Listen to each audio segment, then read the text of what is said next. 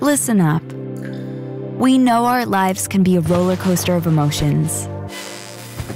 And yet, it's often in those moments of difficulties that we find the beauty in life. How much we have to be grateful for, just as we are grateful for you. We are proud of our community of women who embrace their uniqueness, live with intention, empower their bodies, nurture their minds, enjoy breaks, and inspire others to do the same. We are proud of you.